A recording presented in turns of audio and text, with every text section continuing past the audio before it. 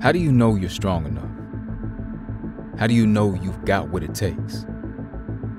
What if it's not in the victories? What if it's not when you're on the mountaintop, but when you're climbing? When you're struggling to take the next step? When you're fighting as hard as you can? And it's there you realize that your best days are in front of you, not behind you. See, the battle isn't a sign that you're weak. It's the knowledge that you're in the fight. Evidence that you're willing to work to get stronger. Confidence that you know you've got more left in the tank.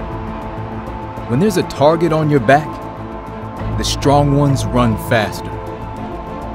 When things don't go your way, d'Arnaud is going to come out of the game after doing something to his catching hand, applying that tag. Ronald Acuna Jr. underwent an MRI that showed a complete tear of his right ACL. He will undergo season ending surgery. the courageous fight back.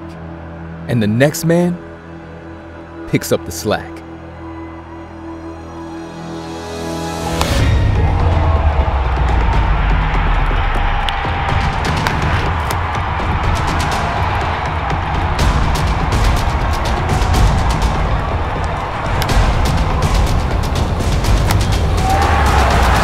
Because believing you can do it only gets you so far. You've got to put in the work. They don't just hand out wins, you've got to earn them every single day. And the ones tested the most become the strongest. Bonded together, impervious to the pressure, strong enough to withstand anything that comes their way. Bottom of the bases loaded, two down. This is what you dream about. Line drive off the pitcher's foot. Throw to first. He beat it. The fight is never easy, Joc Pederson. but it's worth it Play by Madsen.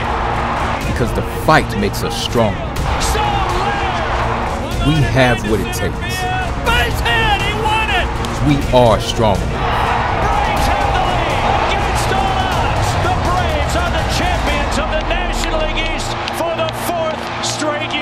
Now, we're ready for battle.